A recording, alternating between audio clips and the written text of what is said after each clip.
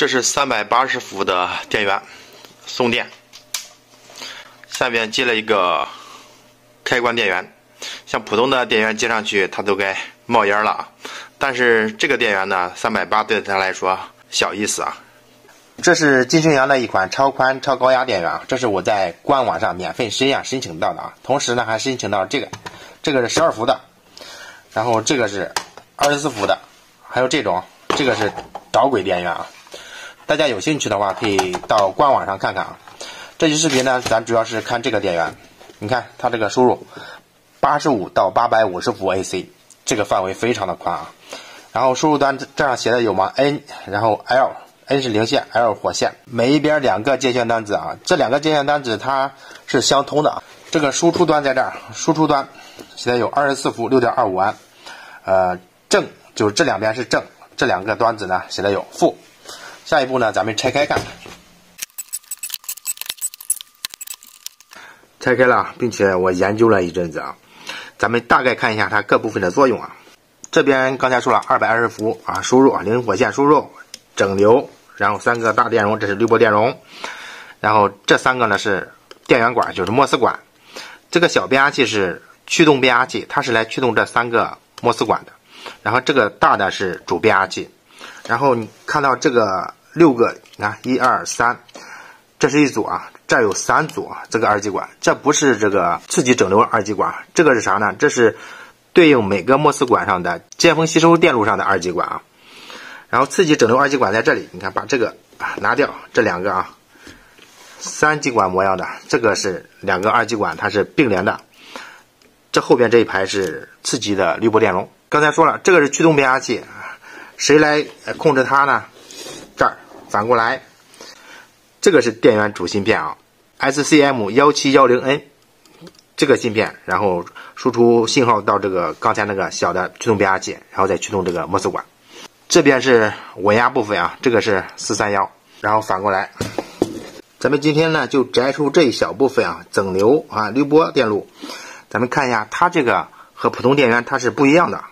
因为一打开，首先映入眼帘的就是，哎，这个怎么是四个整流桥啊？一二三四，四个保险，一二三四，是吧？三个电容，这三个电容呢，它是串联起来的。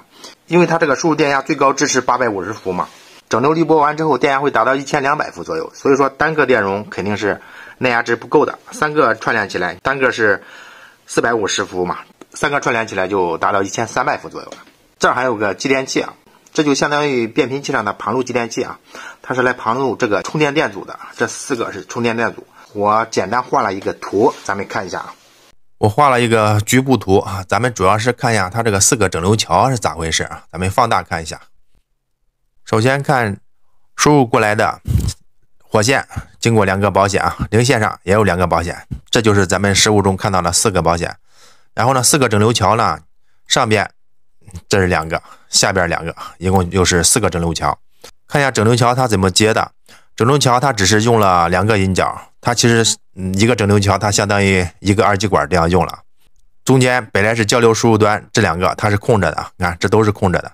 它只是接了，你看用了上边正极，下边负极，就是用了这两个引脚。其实把它看作一个整流二极管就可以了。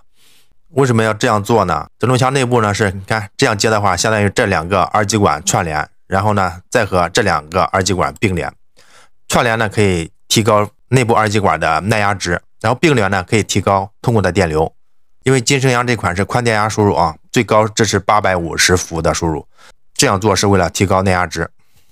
实物中咱们看到了三个大滤波电容啊，这是其中啊一个。其实呢它是。大滤波电容旁边还有一个，你看这边还有一个小的电解电容，六十八微法的，它是三对的。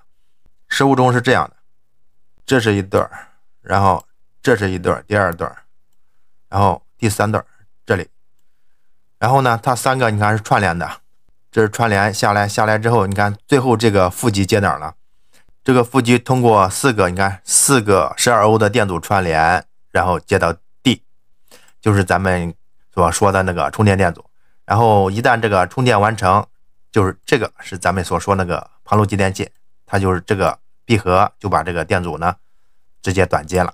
这个 D 接到这儿 D 和这个 D 啊是通着的啊。通过咱们简单的了解呢，大家肯定知道了，金升阳这款电源呢，它里边四个整流桥，它就相当于四个整流管，四个整流管呢又组成一个大的整流桥，就是这个意思啊。下面还有一个问题留给大家，那你说整流桥用四个吧，你说保险你也用四个干啥呢？零线上两个，火线上两个，用一个不行吗？是不是也是为了提高耐压呢？因为这上写的有啊，六点三安，这二百五十伏。知道的朋友可以给大家分享一下啊。好了，这期视频就到这里，感谢大家收看，下期见，拜拜。